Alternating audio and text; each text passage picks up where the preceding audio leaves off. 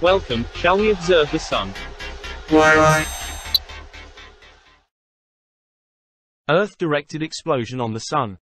A magnetic filament snaking across the Sun's southern hemisphere erupted today, probably hurling a CME toward Earth.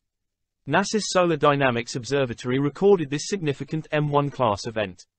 The U.S. Air Force is reporting Type 2 and Type 4 solar radio bursts, both indicative of a CME. The radio bursts are natural emissions produced by shock waves preceding the CME as it passes through the Sun's atmosphere.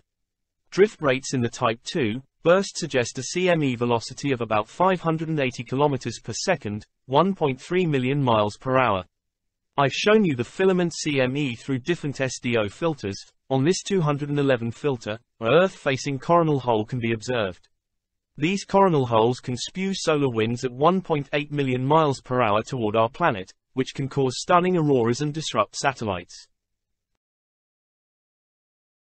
Meanwhile, our CME that occurred on the 20th is Earth-bound and will make contact with the Earth's magnetosphere on the 23rd.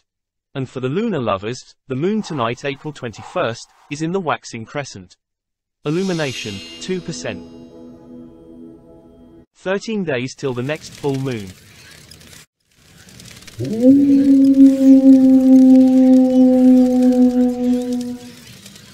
And as always, sit back, relax, and let me keep my eye on the sun for you.